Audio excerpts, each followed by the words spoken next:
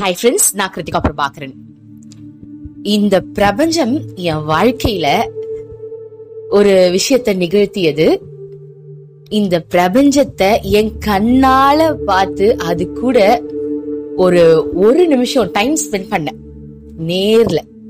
அந்த விஷயத்தை தான் உங்களுக்கு நான் இப்ப ஷேர் பண்ண போறேன். என்ன பொறுத்த வரைக்கும் இந்த பிரபஞ்சமா இருக்கட்டும் இறைவனா இருக்கட்டும் இயேசுவா இருக்கட்டும் அல்லாவா இருக்கட்டும் நம்மளுடைய அம்மனா இருக்கட்டும் சிவபெருமாளா இருக்கட்டும் யாரா இருந்தாலும் எல்லாருமே ஒண்ணுதான். அவங்களுடைய சிறு துளி தான் நம்ப நீங்களும் இறைவன் தான் நானும் இறைவன் தான். அந்த இறைவனுடைய தன்மையை அடையறதுக்காக தான் ஜென்ம ஜென்ம ஜென்மமா ஜென்மம் எடுத்து எடுத்து எடுத்து அந்த இறைவன் கிட்ட போய் சேர்றதுக்காக தான் இங்க நம்ம பிறந்துகிட்டே இருக்கோம். அப்போ நம்மள படைச்ச இறைவன் என்ன பண்றாரு அப்படின்னா நம்மள சும்மா விடல. இதுங்களெல்லாம் தனியா விட்டா இதுங்க சரியா வாழாது அப்படின்னு சொல்லிட்டு நமக்காகவே நம்ம கூட வந்து மனுஷனாவே பிறக்குறாங்க. அதுல வாழ்ந்தவங்க தான் இயேசு. ஓகேவா? இயேசு இறைவன் நம்ம கூட வாழ்ந்து காட்டியிருக்காங்க. கிருஷ்ணன் இறைவன் நம்ம கூட வாழ்ந்து காட்டியிருக்காங்க. சாய்பாபா இறைவன் நம்ம கூட வாழ்ந்து காட்டியிருக்காங்க. இந்த மாதிரி நம்ம பெறப்படுக்கிற எல்லா நேரத்திலயுமே ஒரு இறைவன் நம்ம கூட ஒரு வாழ்க்கைய வாழ்ந்து காட்டிட்டு தான் போறாங்க. ஆனா பாருங்க அவங்க தேர்ந்தெடுக்கிற வாழ்க்கை எல்லாமே ரொம்ப ஹாப்பியான வாழ்க்கையா இருக்காது. ரொம்ப ஒரு கஷ்டத்துல வாழ்ந்து மேல வந்தவங்களா இருக்கும் இல்ல கடைசி நேரத்துல கஷ்டத்தை அனுபவிக்கிறதா இருக்கும். எக்ஸாம்பிள் இப்ப நம்ம இயேசுநாதர் எடுத்துக்கோங்க. இயேசு கிறிஸ்துவ வந்து கடைசியில சிலுவையில தான் அரைஞ்சாங்க. அது எல்லாருக்குமே தெரியும். எவ்வளவு ஒரு சித்திரவதை எவ்வளவு ஒரு ஒரு பாவச் செயலை மக்கள் பண்ணாங்க. அவங்கள போட்டவங்கள சொல்றேன். ஏன் இந்த கஷ்டத்தை அனுபவிச்சாரு? அவர் இறைவனாச்சே. அனுபவிக்காம ஜாலியா போயிருக்கலாமே. ஏன் அனுபவிச்சாரு? அதற்கு உங்களுக்கு தெரியும் என்ன காரணம் நான் இன்னொரு காரணத்தை சொல்றேன் பாருங்க. மனுஷனா பிறந்தா இதை விட சித்திரவதை வேற எதுவுமே கிடையாது. இதையே நான் அடைச்சிருக்கேன் நீ படுறது சித்திரவதையே கிடையாது. அப்படின்னு உங்களுக்கு உணர்த்துறதுக்காக தான் அவ்வளவு பெரிய சித்திரவதையை அவர் அடைச்சிட்டு போனார். நானே அடைச்சிட்டேன்டா நானே இறைவன். நான் வந்து அடைஞ்சு காட்டியிருக்கேன். இதெல்லாம் ஒரு விஷயம் கிடையாதுன்னு அந்த உயிரோட என்னை கொல்லும் போது அதெல்லாம் நான் அனுபவிக்கிறேன். அப்போ இறைவனான நானே இதை அனுபவிக்கிறேன். ஏன் அனுபவிக்கிறேன்? நீ அனுபவிக்கிறது ஒரு விஷயமே இல்லை. அப்படின்றத உனக்கு உணர்த்துறதுக்காக தான் ஒரு ஒரு வாட்டியும் பிறவி எடுத்து உனக்காகவே நான் பிறவி எடுக்கிறேன். எடுத்து எடுத்து எடுத்து அதுல அனுபவிக்கிற விஷயத்த நீ பார்த்து நீ கத்துக்கணும்ன்றதுக்காக தான் நான் எடுக்கிறேன். இது வந்து இன்னொரு வழி. இதுல இன்னொரு ஆக்சுவலி வந்து அதுக்கு வேற ஒரு ரீசன் இருக்கலாம். ஆனா இது ரெண்டாவது ரீசன் இதான் உண்மை. அதுவும் உண்மை. இப்ப நான் சொல்றது முழுக்க முழுக்க உண்மை. சரி ஏன் இன்னைக்கு நான் இத பத்தி பேசுறேன்?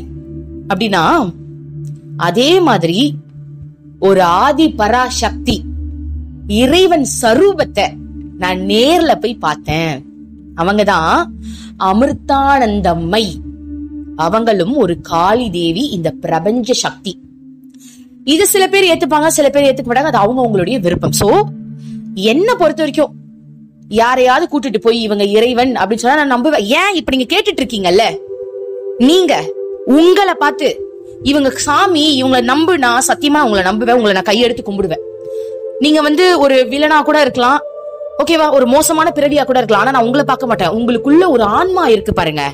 அதை தான் நான் கடவுள்னு சொல்றேன். ஏன்னா நீங்க என்னதான் தப்பு பண்ணாலும் இந்த உடம்ப விட்டு வெளியே வந்து அந்த ஆன்மா மேல போகும்போது நீங்க செஞ்ச தப்ப பார்த்து அதுவே கதறும். ஏன் கதறுது? ஏன்னா அது நல்லது. புரியுதுங்களா? அந்த இறைவன் தன்மை இருக்கிறதுனால தானே நானே பாவம் செஞ்சுட்டேன்னு அது அழுவுது. எதுக்கு இத்தனை ஜென்மம் எடுக்கிறோம் நம்ம தானே எடுத்துக்கிட்டு இருக்கோம். ஏன்னா நம்ம ஏதோ தவறு பண்ணிட்டோம் ஏதோ கத்துக்கல. அப்போ அந்த ஆன்மா தானே இறைவன். நீங்களே இறைவன் தான். உங்களை கும்பிடுனா கூட நான் கையெடுத்து கும்பிடுவேன். அப்போ ஒரு பிரபஞ்ச சக்தி நிறைஞ்ச ஒருத்தவங்களை இறைவன் சொன்னா நான் ஏத்துக்க மாட்டேனா. நிச்சயமா ஏத்துப்பேன். எனக்கு ரொம்ப நாளா ஆசை. அந்த இறைவன் வாழ்ந்த காலத்துல நம்ம வாழ்ந்திருந்தா எப்படி இருந்திருக்கும்? இப்போ சாய்பாபா வாழ்ந்தாரு. அவர் கூட எவ்வளவு பேர் வாழ்ந்தாங்க. அந்த டைம்ல நம்ம வாழ்ந்திருந்தா நல்லா இருந்திருக்கும்ல? அப்படின்னு நான் நினைச்சிருக்கேன். உண்மையாவே வாழ்ந்திருக்கலாம். அந்த பிறவில நான் வாழ்ந்திருக்கலாம். பட் எனக்கு இப்ப தெரியல. அப்போ இப்ப இருக்கிற சூழ்நிலையில நம்மளுக்கு ஒரு இறைவனே இருக்கிறாங்க. இறைவன் வாழ்ந்துட்டு இருக்காங்க. அப்படின்னு சொன்னா எப்படி இருக்கும்? அந்த மாதிரிதான் இந்த இறைவனை பத்தி எனக்கு தெரிய வந்தது. இவங்க மட்டும் இல்ல நிறைய பேர் இருக்கிறாங்க. இப்ப மதரா இருக்கட்டும் மதர்லாம் வந்து ஓகே அவங்களாம் வந்து மேல போயிட்டாங்க. இருந்தாலும் சொல்றவங்க இங்க வாழ்ந்தவங்க தான் சாய்பாபால இங்க வாழ்ந்தவங்க தான் மேல போயிட்டாங்க. இன்னும் உயிரோட இருக்கிறவங்க யாராவது இருக்க மாட்டாங்களா? ஒரு இறைவன் இறங்கி வந்து வாழ்ந்துட்டு இருக்காங்கல்ல யாராவது இருக்க மாட்டாங்களா? அதாவது ஒரு மனுஷனே ட்வின் சோலா ஒரு சோலே ட்வின் சோலா பிரிஞ்சு ரெண்டா வாழ்ந்துட்டு இருக்கு. அப்ப இறைவன் எத்தனை சோலா பிரிய முடியும்? புரியுதுங்களா? இப்ப நமக்கு தெரியும் ட்வின் சோல்னு இருக்கு. ட்வின் சோல்னா என்ன? ஒரே ஆன்மா ரெண்டா பிரிஞ்சு தனித்தனியா வாழ்ந்து அப்புறமா போய் ஐக்கியமாறுது இப்ப என்னோட ட்வின் சோல் வந்து எங்க அப்பா கிருஷ்ணமூர்த்தி. அது என்னோட ட்வின் சோல் தான். சோ நாங்க எல்லாம் ஒன்னா சேர்ந்து போய் அங்க ஐக்கியமாக போறோம். அப்போ ஒரு சாதாரண ஆன்மாவே ரெண்டா பிரியுதுன்னா ஒரு இறைவன் எத்தனை எத்தனை ஆன்மாக்களா பிரிய முடியும்? அத்தனை ஆன்மாக்களா பிரிஞ்சதுதான். ஒரே இறைவன் அத்தனை ஆன்மாக்களா பிரிஞ்சதுதான். இயேசுவா இருக்கட்டும் அல்லாவா இருக்கட்டும் நம்ம சிவபெருமானா இருக்கட்டும் முருகனா இருக்கட்டும் அம்மனா இருக்கட்டும். புரியுதுங்களா? நீங்க கும்பிடுற எந்த சாமியா வேணாலும் இருக்கட்டும். எல்லாமே ஒரே இறைவன் தான். அந்த இறைவனுக்கு எத்தனை சோல் பிரிய முடியும்? பிரிக்க முடியும். பிரிச்சு தனித்தனியா அனுப்ப முடியும். நம்மளே ட்வின் சோல் ஆகுறோம். அவங்களுக்கு ஆக்குறதுக்கு என்ன எவ்வளவு எவ்வளவு அது என்ன பெரிய விஷயமா என்ன? அப்போ அவங்களாம் இறைவன் தான்.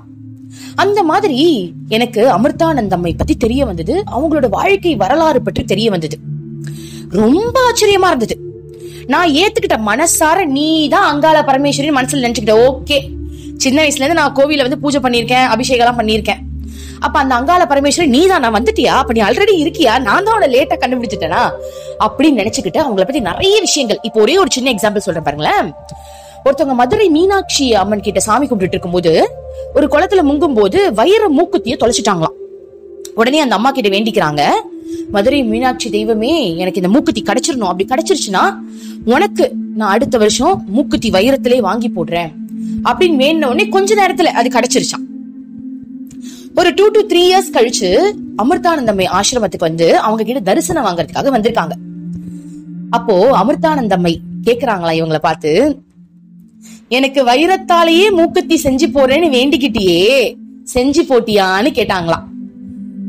அப்ப பாருங்க எங்க வேண்டுனது எங்க வந்து ரிஃப்ளெக்ட் ஆகுது? எப்படி? அப்ப அதுதான் அந்த தெய்வம். புரியுதுங்களா? அப்ப அவங்க கடவுள் தான் அதே மாதிரி இன்னொருத்தவங்க சொன்னாங்க ஒருத்தவங்க வீட்டுல வந்து அந்த அம்மாக்கு பர்த்டே அன்னைக்கு பால் சுட சுட வச்சுட்டாங்களாம். ஓகேவா ஒரு ஒன் இயர் கழிச்சு அந்த அம்மாவோட தரிசனம் வாங்குறதுக்காக அவங்க கிட்ட ஆசிரமத்துக்கு போயிருக்காங்க. அப்போ அவங்க கிட்ட வந்து பேசவே இல்லையா அம்மா? அப்ப இவங்க கேட்டாங்க ரொம்ப கஷ்டமா ஏமா என்கிட்ட பேசவே இல்லை உடனே நீ தான் சுட சுட பால் வச்சு என் வாயை சுட்டுட்டிய நான் எப்படி பேசுறதுன்னு? கேட்டாங்களாம் ஓகேவா? அதே மாதிரி நிறைய இருக்கு. இந்த மாதிரி நிறைய அற்புதங்கள் இருக்கு. ஏன் எங்க ஃப்ரெண்ட்ஸோட ஃபேமிலியில நடந்த ஒரு பெரிய விஷயம் என்னன்னா இந்த மாதிரி சில இதுக்கு முக்கியமான விஷயத்துக்காக டொனேஷனுக்காக வந்திருக்காங்க. அப்ப வந்து என் ஃப்ரெண்டோட வீடு வந்து பூட்டி இருந்துதான் ஆனா டொனேஷன் கொடுத்த இடத்துல வந்து இவங்களோட பேர் இருந்துதான் அந்த டைம்ல அவங்க இல்லவே இல்லையா? பேர் இருந்துதான் என்ன என்னோட டொனேஷன்ல என்னோட பேர் இருக்கு இவ்வளவு காசு கொடுத்துருக்கேன்னு இதுல போட்டிருக்கு யாரு கொடுத்தாங்கன்னு கேட்டதுக்கு அவங்க சொல்றாங்களா உங்க வீட்டுல ஒரு அம்மா இருந்தாங்களா வெள்ளை கட்டிட்டு அவங்க தான் வந்து கொடுத்துட்டு போனாங்கன்னு சொன்னாங்களாம். எங்க வீட்டுல வெள்ளை புடவை கட்டிட்டு யாருமே இல்லைங்க. நாங்க இருக்கிறது ரெண்டே பேர் தான். இங்க யாருமே இல்லையே அப்படின்னதுக்கு அவங்க வந்து இல்லங்க உங்க வீட்டுல இருந்தா வந்தாங்க. பாருங்க உங்க பேர் இருக்குன்னதுக்கு போட்டோ எடுத்து காட்டியிருக்காங்க. அம்மாவோட போட்டோ எடுத்து காட்டியிருக்காங்க. கடைசியில உண்மையாவே ஆ இவங்க தான் வந்தாங்கன்னு சொல்றாங்களாம்.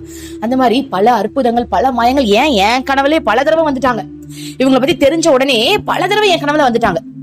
அப்போ இவங்களை பார்த்தே ஆகணும். எனக்கு ஒரு ஆசை. நான் தீட்சை வாங்கினதே இல்லை இது வரைக்கும் யாருக்கிட்டையுமே எனக்கு தீட்சை வாங்கிடணும்.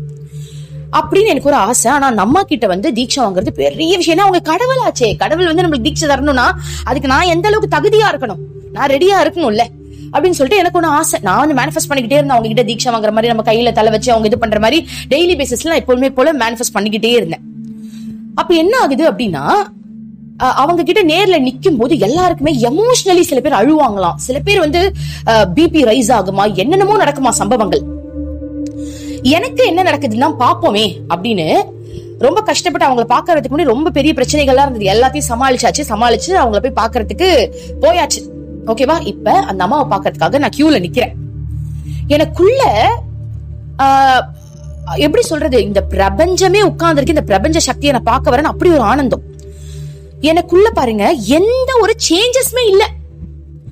ஏன்னா என் மனம் அந்த அளவுக்கு ஸ்ட்ராங்கா இருக்கு. ஏன் நான் உன பார்த்து சேஞ்சஸ் ஆகணும்? ஆல்ரெடி நீ சிலையா அங்க உட்கார்ந்துட்டு இருந்த ஒரு கோவில்ல உனக்கு தான் நான் அபிஷேகம் பண்ண உனக்கு நான் ஆராதனை செஞ்சுக்க எல்லாமே பண்ணிருக்கேன். இங்க உயிரோட உட்கார்ந்துட்டு இருக்க இதுல என்ன டிஃப்ரெண்ட்னு என் மனம் ஆல்ரெடி ஏத்துக்குச்சு இல்லையா? அதனால அது ரொம்ப பக்குவமா பாக்குது. எந்த ஒரு ரியாக்ஷனுமே இல்லாம ரொம்ப பக்குவமா பாக்குது. அங்க போய் என்ன பிபி செக் பண்ணியிருந்தா கூட எல்லாரும் அழுகுறாங்க அந்த அம்மாவை பார்த்துட்டு. சில பேர் அழுகுறாங்க சில பேர் கால்ல விழுறாங்க எனக்கு பிபியே ரைஸ் ஆகல கம்மியும் ஆகல. ரொம்ப கூலா இருந்தேன். அந்த அம்மாவை போய் பார்த்தேன். பார்த்துட்டு மூஞ்ச பார்த்து முகத்துக்கு நேரா அங்கால பரமேஸ்வரி நல்லா இருக்கீங்களான்னு கேட்டேன்.